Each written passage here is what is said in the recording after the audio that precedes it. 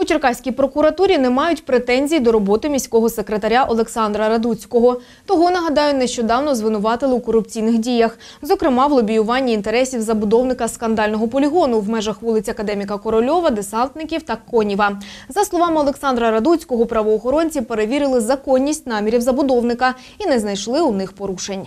Я вважаю, що це ну, ідея тільки, знаєте, таке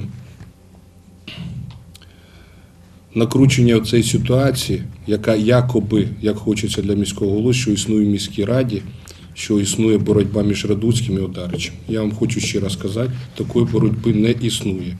Я зайшов сюди, опять же, для того, щоб встановити